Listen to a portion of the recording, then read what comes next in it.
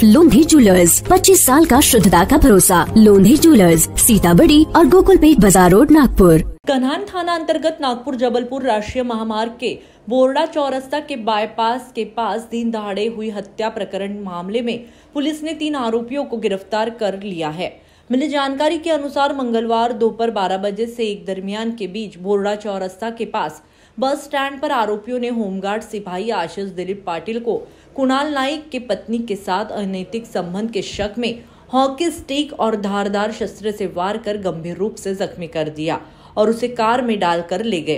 Car में उस पर धारदार शास्त्र से वार कर हत्या कर दी। कन्हान पुलिस की एक और नागपुर ग्रामीण पुलिस क्राइम ब्रांच की चार टीमें आरोपियों की तलाश में जुटी हुई थी। गुरुवार 12 अक्टूबर को गुप्त सूचना के आधार पर पुलिस ने आरोपी कुणाल राजेश, नाइक, सुमित, गजबिये, आशीष डागा, महेश, आरोली अंतर्गत स्थित रेणुका बियर बार से गिरफ़्तार कर लिया है।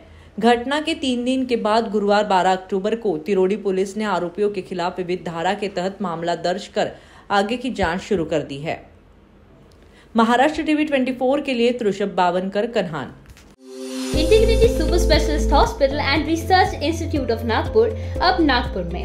अत्याधुनिक सुविधाओं के साथ ICU modular operation theatre, maternity surgery, and laparoscopy surgery, orthopedic and joint replacement, dialysis unit, pathology and pharmacy. Our address Vinoba Nagar Kharbi Ring Road, Nagpur. Our contact 866 8792352 9801980100.